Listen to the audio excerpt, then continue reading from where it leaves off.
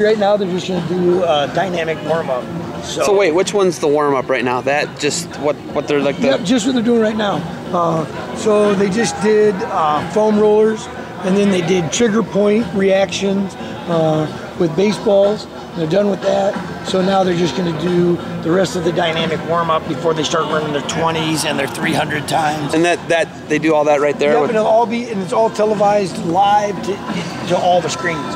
So um, everything's super electronic, so it goes on their own time. You don't have to push no buttons, anything. It just all electric eye, like Yep, exactly. ready, set, go. They don't need that. So that's when you start. Right, Sanford is actually uh, the people that made the that made the combine for their timers.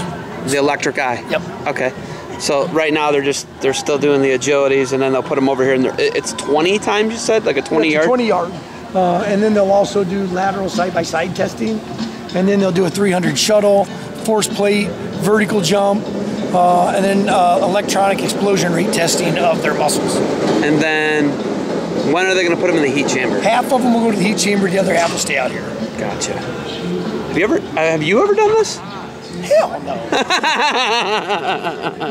What's the heat chamber?